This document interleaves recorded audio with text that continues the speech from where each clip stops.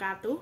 Perkenalkan nama saya Maharani Risa Juli Widianti. Dari kelas Desain Grafis Pagi Stekom Ungaran. Dengan NIM 1121080020. Pada video kali ini saya akan mempresentasikan hasil ujian akhir semester saya mata kuliah tipografi yang diampu oleh Bapak Ayub Hamdanu Budi Nurmana Mulyana Selamat.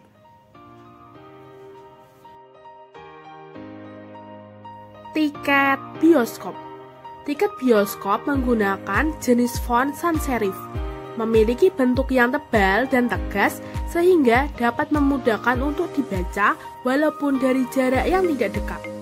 Menggunakan warna hitam yang memiliki makna elegan, netral, kecanggihan yang sesuai pada tiket bioskop ini yang menjual jasa berupa hiburan yang menampilkan film.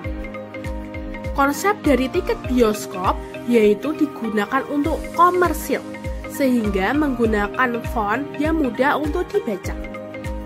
Tiket bioskop ini tidak menggunakan efek emboss atau timbul atau kelap-kelip karena agar mudah dibaca.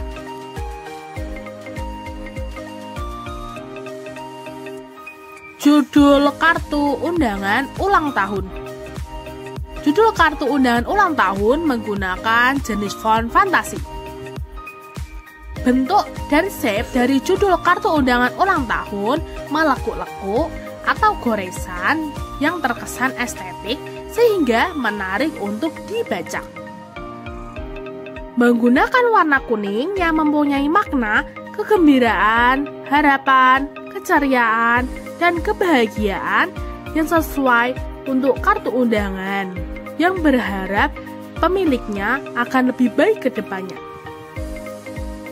Konsep kartu undangan ini menggunakan font fantasi dengan bentuk goresan seperti kuas karena agar terkesan estetik, enak dilihat, dan mewah. Tidak menggunakan efek emboss karena kurang sesuai dengan font ini.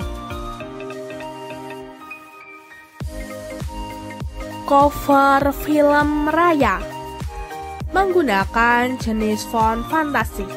Walaupun terlihat seperti sans serif, Font ini sebenarnya adalah font fantasi. Lalu, menggunakan huruf kapital yang berfungsi sebagai judul. Kata raya pada huruf R berbentuk menyerupai siluet naga karena pada film ini menceritakan tentang raya dan naga terakhir. Siluet naga pada huruf R ini juga memberikan kesan yang berani dan sangat menggambarkan latar dari cerita yang dibawakan.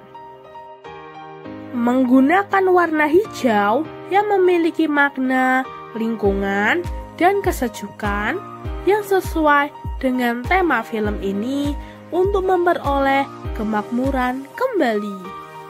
Warna hijau ini juga menggambarkan warna pakaian khas suku Herd yang dipakai Raya dan ayahnya. Konsep dari film ini yaitu menceritakan tentang pencarian naga terakhir untuk mengembalikan dunia agar makmur kembali. Tidak menggunakan efek emboss karena kurang sesuai dan sudah ada siluet naganya. surat lamaran kerja menggunakan jenis font serif memiliki bentuk dan shape yang mempunyai kaki dan lengan dengan tujuan agar lebih nyaman dibaca walau dengan ukuran yang tidak terlalu besar dan cocok sekali untuk surat melamar pekerjaan yang bersifat formal menggunakan warna hitam yang memiliki makna elegan formal, dan keseriusan, seperti pada surat lamaran kerja ini. Konsep dari surat lamaran kerja yaitu formal yang ditujukan oleh seorang atasan untuk melamar pekerjaan. Tidak menggunakan efek timbul atau emboss karena bersifat formal dan kurang cocok jika digunakan. Judul tabloid menggunakan jenis font serif. Memiliki bentuk yang besar karena berfungsi sebagai judul dari tabloid itu sendiri. Lalu memiliki kaki dan lengan yang berfungsi dapat dibaca dengan mudah dan memberikan kesan yang enak dilihat. Menggunakan warna putih yang memiliki makna murni, bersih, steril, dan siklus hidup.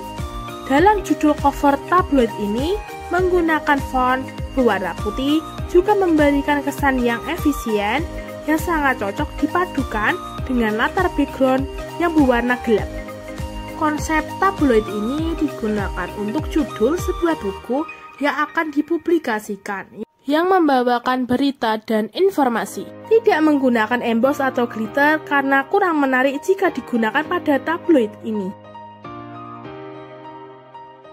Poster anime Spy Egg Family menggunakan jenis font sans serif memiliki bentuk yang terkesan tebal karena digunakan untuk judul yang dapat dilihat jelas dari jarak yang jauh serta terdapat border atau frame pada judul memberikan kesan yang kokoh.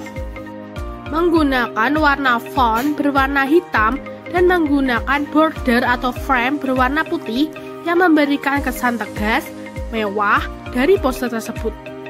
Warna hitam memiliki makna berani, tegas, dan elegan.